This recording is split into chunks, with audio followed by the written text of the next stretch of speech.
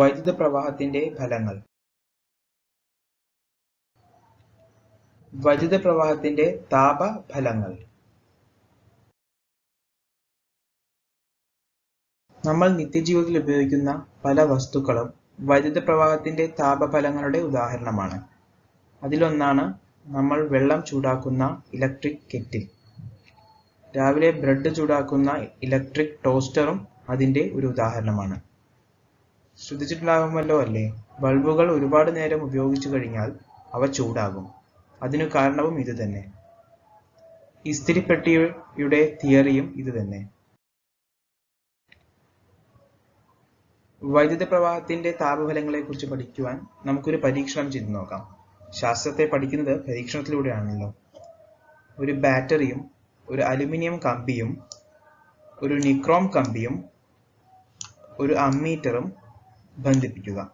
ഇവ ശ്രേണി രീതിയിലാണ് ബന്ധിപ്പിക്കേണ്ടത്. അമ്മീറ്റർ എപ്പോഴും തന്നെ സർക്യൂട്ടിൽ ശ്രേണി രീതിയിലാണ് ബന്ധിപ്പിക്കാറുള്ളത്. എന്നാൽ വോൾട്ട് മീറ്റർ എപ്പോഴും സമാന്തര രീതിയിലുമാണ് ബന്ധിപ്പിക്കുക. നമുക്ക് ബാറ്ററി ഓൺ ആക്കി വയ്ക്കാം അല്പസമയത്തിന് ശേഷം ഓഫാക്കി. അലുമിനിയം കമ്പിയുടെയും നിക്രോം കമ്പിയുടെയും താപം നോക്കാം. കൈകൊണ്ട് തന്നെ തൊട്ടു നോക്കാവുന്നതാണ്.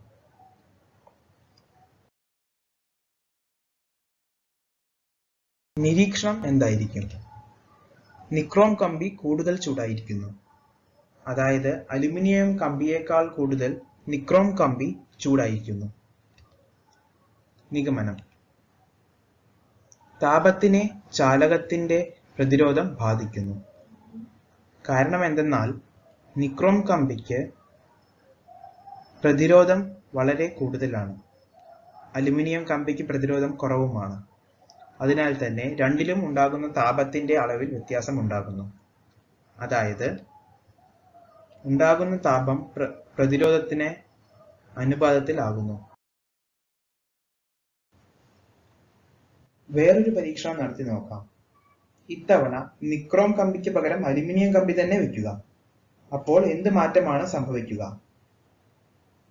നേരത്തെ സർക്യൂട്ടിനേക്കാളും ഇതിന് പ്രതിരോധം കുറവായിരിക്കും. കാരണം അലുമിനിയത്തിന് പ്രതിരോധം കുറവാണ്.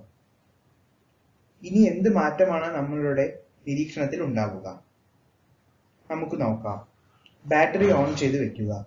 നേരത്തെ എത്ര സമയം വെച്ചുവോ അതേ സമയത്തോളം ഇതും വെക്കുക.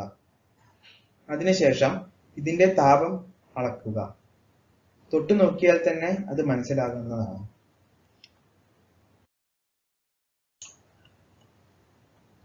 നിരീക്ഷണം.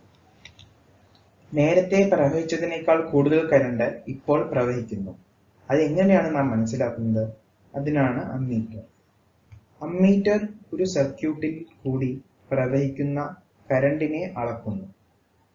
ആദ്യം ചെയ്ത പരീക്ഷണത്തിൽ അമ്മീറ്റർ അളന്ന കരണ്ട് വളരെ കുറവാണ്. എന്നാൽ രണ്ടാമത്തെ സർക്യൂട്ടിലോ അത് വളരെ കൂടുതലുമാണ്.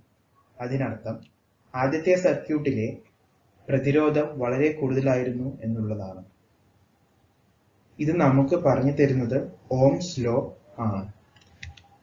അലുമിനിയം കമ്പി കൂടുതൽ ചൂടായിരിക്കുന്നു. അതിന് കാരണം എന്തായിരിക്കും? രണ്ടാമത്തെ പരീക്ഷണത്തിൽ കരണ്ട് കൂടുതൽ ആയിരുന്നു. അത് തന്നെ ആയിരിക്കണം കാരണം. അത് മാത്രമാണല്ലോ വ്യത്യാസവും. നിഗമനം.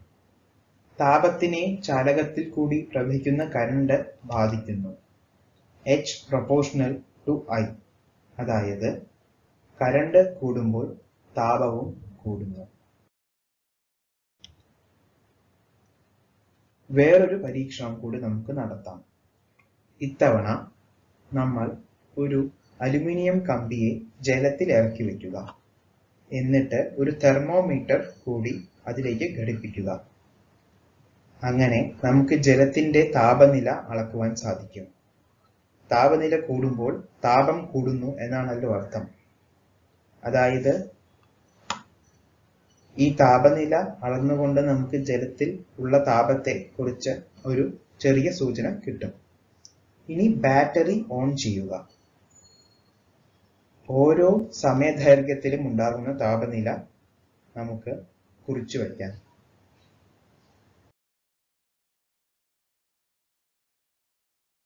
നിരീക്ഷണം എന്തായിരിക്കും? ജലത്തിന്റെ താപനില സമയം കൂടുന്തോറും കൂടുന്നു. അതായത് കൂടുതൽ സമയം ബാറ്ററി ഓൺ ചെയ്ത് വെക്കുകയാണെങ്കിൽ ജലത്തിന്റെ താപനില കൂടിക്കൊണ്ടിരിക്കുന്നു. നിഗമനം. താപത്തിനെ ചാലകത്തിൽ കൂടി കരണ്ട് പ്രവഹിക്കുന്ന സമയവും ബാധിക്കുന്നു. കൂടുതൽ സമയം കരണ്ട് പ്രവഹിക്കുകയാണെങ്കിൽ കൂടുതൽ താപം ഉണ്ടാകുന്നു. എച്ച് പ്രൊപ്പോർഷണൽ ടു ടി അതായത് താപത്തിനെ സമയവും ബാധിക്കും.